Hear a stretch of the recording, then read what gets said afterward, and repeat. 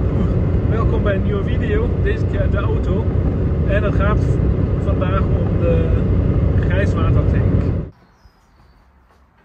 Ik moet dat even opnieuw doen.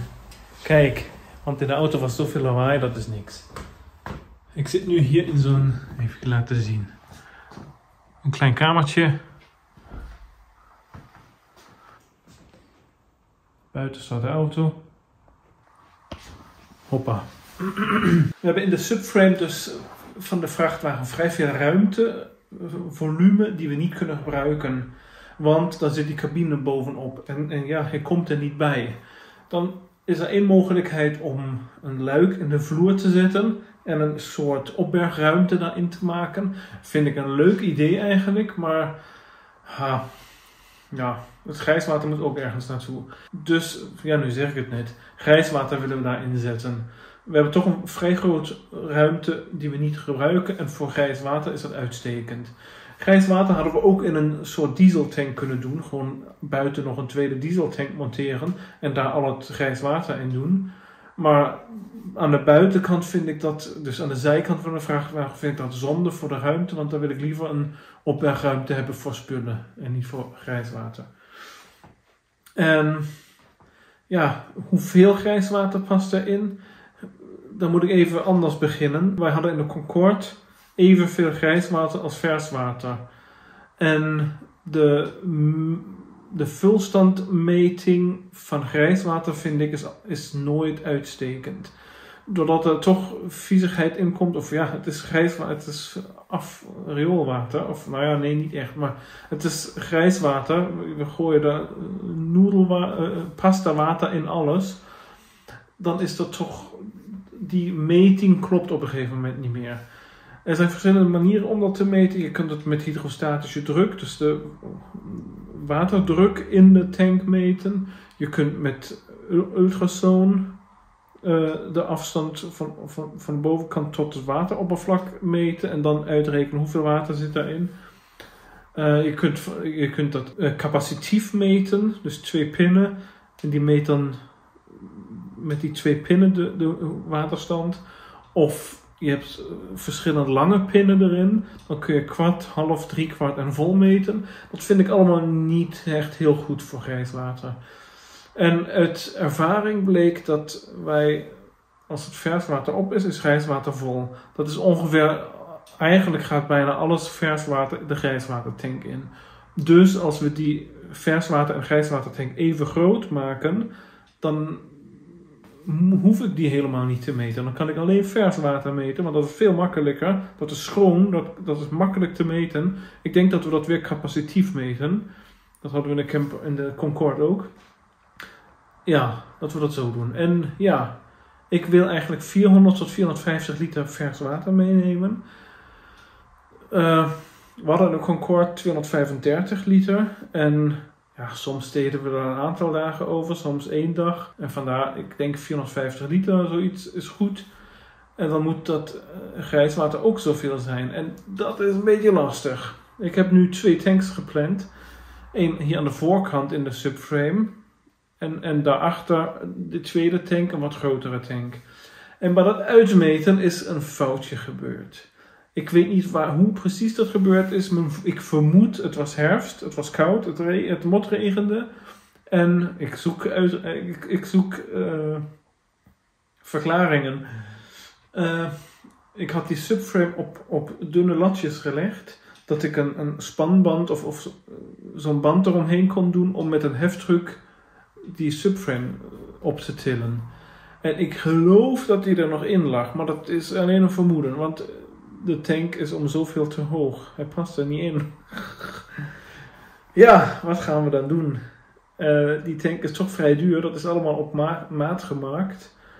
En vandaar heb ik besloten, ik ga even naar het bedrijf terug en die tank moet aangepast worden. En daar ben ik nu onderweg naartoe. Het is een vrij verre rit. Het is vanaf, ik zeg maar grof gezegd, zitten we in de buurt van Basel, in Duits, aan de Duitse kant. En die, die, dat bedrijf zit in, in Hamburg. Ja, dat is toch een heel eind. Maar ja, ben ik nu vandaag even hier omhoog gereden. Morgenochtend gelijk naar het bedrijf. Ja, en dan laten aanpassen. Nu zit ik ergens bij Hannover. En ik was net bij een supermarkt voor een beetje water. Wat te eten of zo. Nee hoor, metro, dat is alleen voor groot, voor bedrijfsklanten. Nou, dankjewel, dan niet. Dus even zoeken waar ik nu iets te eten krijg. En uh, ja, het is toch heel anders als je nou zonder de camper onderweg bent. Is even, had ik een beetje moeten plannen, maar ik wilde die tanks inbouwen over een lang weekend. En ik belde met hem vandaag, vanochtend, of hij dat kon aanpassen. En zei, oh kom langs. Dus in de auto gestapt en even 900 kilometer gereden. Ik had een beetje moeten plannen misschien, maar ja. Nu heb ik bij een pompstation drinken gehaald. Jeetje, kijk nou. Een oude... Is dat te zien? Een van onze followers heeft een voertuig. Hoi hoi. Ik heb wat te eten gevonden. So, jetzt bin ich angekommen. Und zwar, ich bin bei Tanknology. Dann drehe ich mich gerade mal kurz. Hier, das ist Hallo, moin. Dir gehört die Firma Tanknology? Ja, genau. genau. Und was machst du genau? wir, wir bauen Tanks nach Maß äh, in allen Formen und Größen und das natürlich auch langfristig und, und sehr haltbar, ne? natürlich. Genau, und das ist auch der Grund, warum ich, warum ich bei dieser Firma bin und nicht bei einer anderen. Das sind einfach meiner Meinung nach mit die besten Tanks. Und naja, wenn man sich falsch vermisst, muss man das halt nochmal neu machen. Hier sehen wir jetzt den Tank, den haben wir jetzt, auf, haben wir jetzt zusammen aufgesägt. Oder eigentlich habe ich gar nichts dran gemacht. Und jetzt wird er eben angepasst. Genau. Also ich schneide jetzt mal die Platte ja, an der großen Säge und dann hoffen wir, dass es gleich passt. Und dann schweißt du mal eine Runde bei uns. Dann kannst du mal eine kleine Runde schweißen und das mal selber zusammenbauen und mal gucken, wie dir das gefällt. Ja, cool.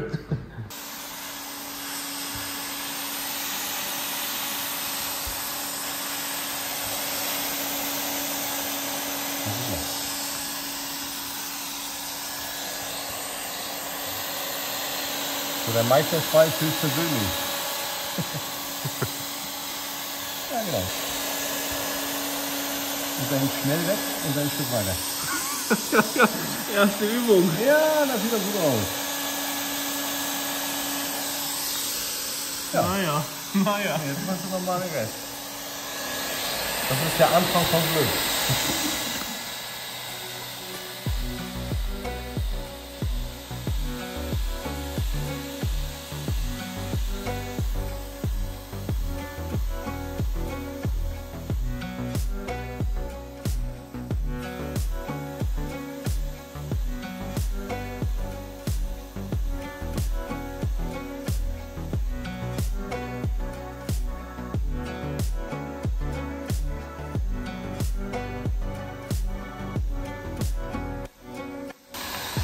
Der Profischweißer.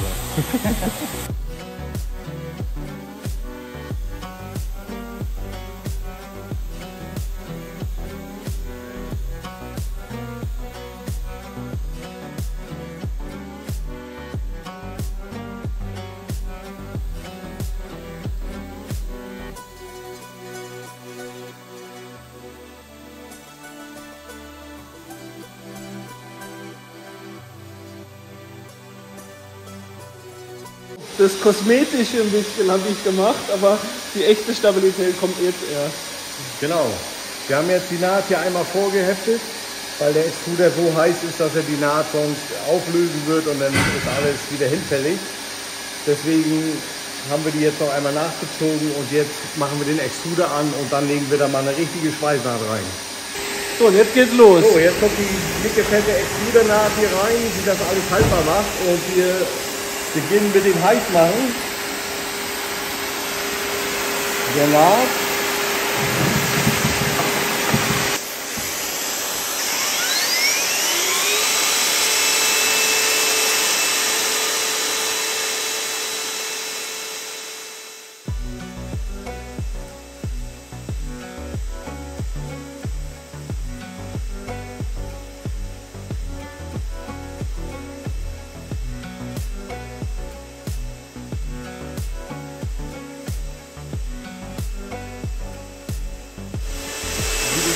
Handarbeit. Macht keine Maschine.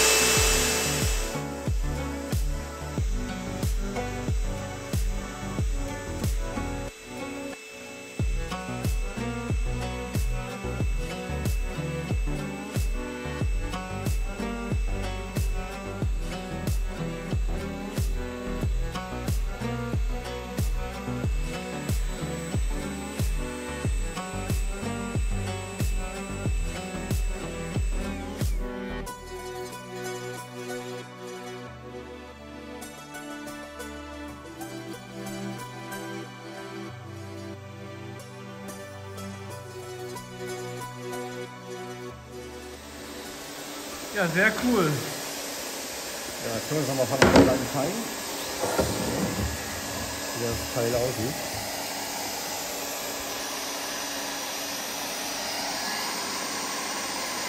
Ja. Das ist wie auch das Überschüssige einmal, ne? Das ist so ein bisschen, das ist Material überschüssig ist, ne? Ja,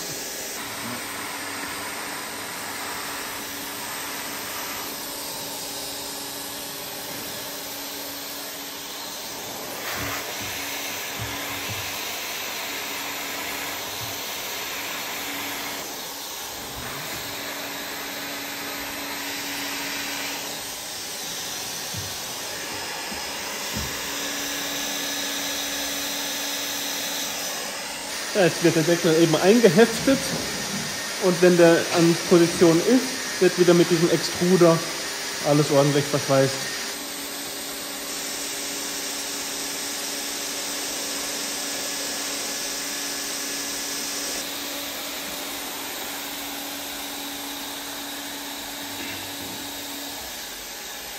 Sehr gut. Nochmal heiß machen? Genau, und dann ziehst weiter und dann hinter mir. Ja,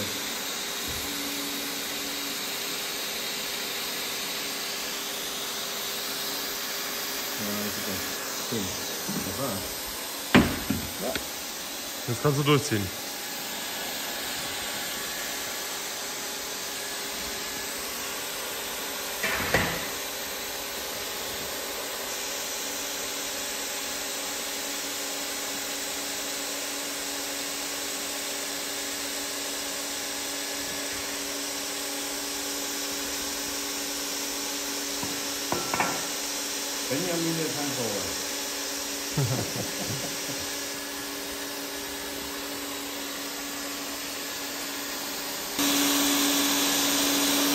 Sieht aber auch gut aus, Mensch. Ja, geil. Ja, man kann hier anfangen. Ja. Eigentlich gleich. So. Ja, geil. Dann die noch, oder? Ja, genau. Alle, dass du alles im Endeffekt zu hast.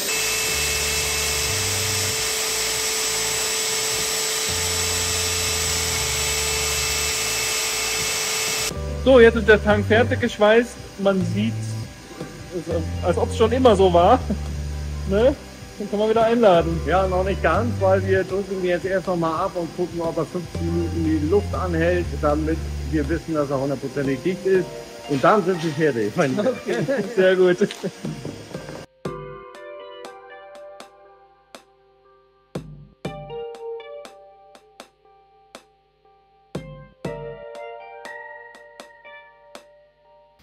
Ja, das sieht doch gut aus. Ja, das ist äh, wie immer perfekt. Sehr gut. Tank was allemaal dicht. We hebben de druk opgegeven, 0,2 bar. En dan met, met lekkagespray eh, gezocht en ook drukverval gekeken. En was allemaal goed. En ja, toen ingeladen en weer op de terugweg. En het was iets van, ik weet niet precies, eh, één of half twee in de middag dat ik weg, wegreed. En ja, dat zijn ongeveer 9 uur te rijden. En nu zit ik al een uur in de file. Nou, jongen, jongen. Ik heb er zo geen zin meer in. Nu ga ik, eh, binnenkort wordt het donker donker, gaat de zon weg. Nu ga ik toch misschien kijken of ik ergens een hotel pak. Mijn plan was eigenlijk even doorrijden. Dan ben ik om 11 uur s'avonds thuis. Maar nu zegt het Navi al dat het bijna middernacht wordt. En dan maar even kijken hoe ver die file nog gaat. Ik zei, ja... Ik haat files, jongen, jongen. Weet je, met een camper kun je even op de parkeerplaats gaan en eh, wat eten of weet ik veel wat. En dan wacht je gewoon drie uur tot die file voorbij is. Ja, met onze reisstijl was dat altijd geen probleem. Maar nu is het een probleem. Nu wil ik naar huis. Ik hou weer op de hoogte. Ja, zo zit ik dus in die kleine auto hier. Het is wel een beetje erg krap. Nog even twee zinnen over Tanknology. De tank de, die die tank maakt. Ik ben van die kwaliteit overtuigd. En ik was nu voor de eerste keer bij hem. En kon dat allemaal bekijken. En ja, ik ben nog steeds overtuigd van, van die kwaliteit. Hoe hij dat maakt. Hij heeft ook een aantal trucs laten zien. Wat hij, hoe hij die tanks bouwt. En ja, ook gewoon die, die naden hier, als dat, dat wordt, als dat gelast wordt, of ik weet niet hoe dat op zijn Nederlands heet, met, met hete kunststof. Hij maakt het dan allemaal schoon en glad, dat hoeft niet eens eigenlijk, maar voor het geheel is dat wel weer netjes gemaakt. Gewoon goed gemaakt. En eh, als je dan een tank plant, dan, dan ben ik altijd in gesprek met hem, of, of, of als jullie dat ook willen. En hij, wij bespreken samen wat is zinvol, waar, waar welke aansluiting te doen. En, en, en ja, alle details worden, in, in, in, worden besproken. En daarna maakt hij die tank gewoon stevig. En ja, ik weet niet wat ik er anders nog moet zeggen. Maakt een goede indruk.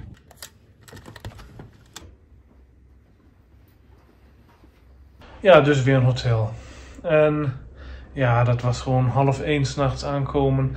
We vanochtend om zes uur weg. Ja, dat is dan op een gegeven moment is dan genoeg.